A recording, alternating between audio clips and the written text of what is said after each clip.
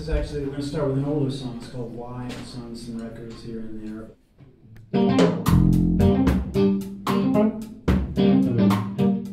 So my name is Mark. I'm an advisor at the Berklee Online campus, and uh, I'm here today with Wayne Krantz, one of my favorite guitar players.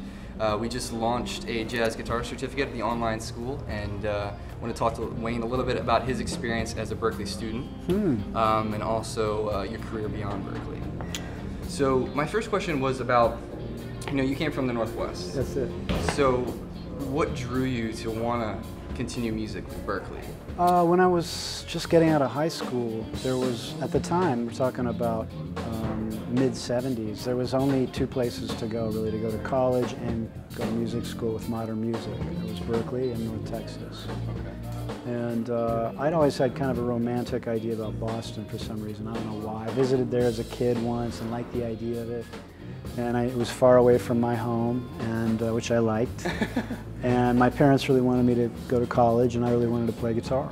So um, that was a way to satisfy both of those those needs. Since then, it's become Guitar Central. Yeah. I mean, it's got the most wide approach to guitar of any place I've ever been in the world. I mean, it's, it's the guitar program in the world. They have a bunch of bad MFs teaching there, and you know they bring people in for short term, and so there's always people there that are great and real players, you know, people that are doing stuff, and and uh, you know Larry and Rick are basically the masterminds of that. You know, they're the ones that realized it needed to be as broad as possible. Which is great. And Larry and Rick, they both have a huge presence in the online school. That's cool. Great, yeah. Then it's going to be a success because those guys are successful. Just you know, launched a counterpoint class for this term, and I, I just feel like you know, as a Berklee student and as a student of music, not just a Berklee student, Mm-hmm. I feel like that's really important to understand. And I think that's something that jazz students might take for granted. You know, they might not think of they might think of it as Beethoven and you know triad harmony and that stuff. Sure, sure. Well, it's taught like that often. That's what a counterpoint class is often taught as traditional counterpoint like that. Yeah. So how do you think you, um, you know, how did you wrap your brain around like, okay, so now I really want to develop this style in my left hand and right hand Mm-hmm. to be able to kind of marry those two things and sound like my one, a one-man band. Hmm. Because I've, I've heard you do that. I've been, I've been like, Mm-hmm. Well, the guitar, the guitar lends itself to that. Yeah. You know, it's an orchestra, the guitar, and, and um, at some point I, I realized rhythm was really a, like the most important thing to me. Like I, I believe this, I've said this before. I'll say it again quickly. I think every musician maybe has one of the basic elements, whether it's melody, harmony, rhythm, or sound. I, I think that every musician kind of has one of those four things that is held m- most dear, kind of, is most central to their musical being.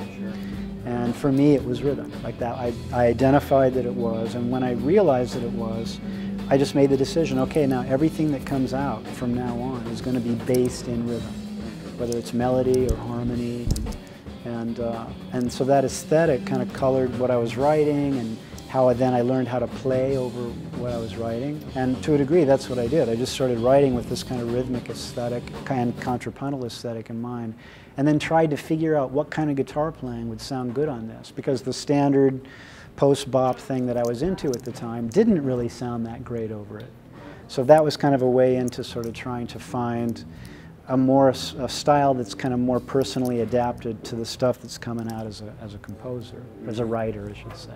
Do you find yourself writing like that a lot? starts with a rhythmic idea? Or? Yeah, although I don't really mean it like that because it's not like I'm hearing drums first or anything, but like the rhythm and the melody usually happens almost at the same time. But you know, if the if the I if like I'm not just, my melody stuff is not just like it might be. It's more like